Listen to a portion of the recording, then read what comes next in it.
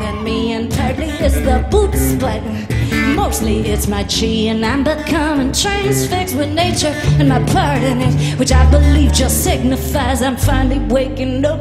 And that moth outside my kitchen door, she's bonkers for that bare ball flying around.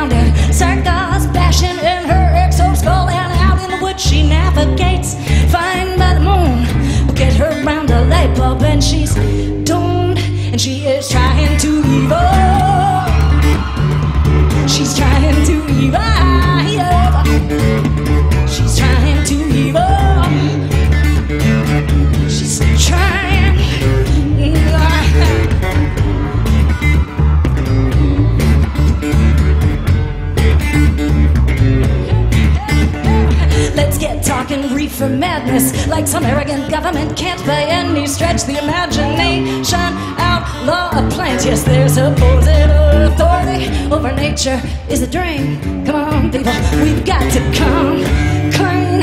Cause they are locking our souls and our daughters in cages.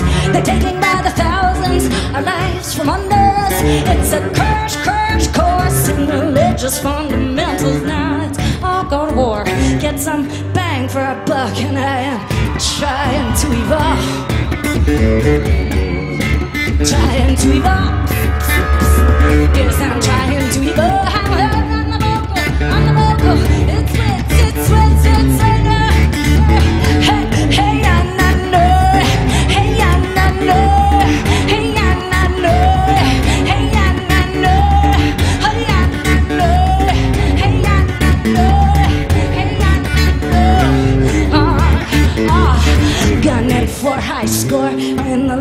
Of dreams. Morbid bluish white consumers, ogling luminous screens on the trail of forgetting, cruising without a care.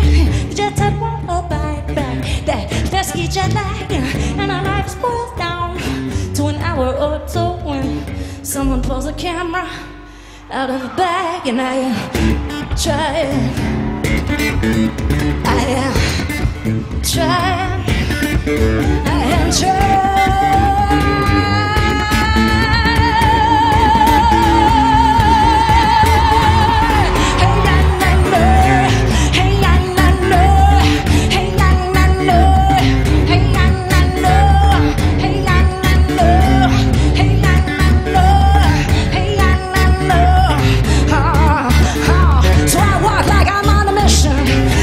That's the way I grow.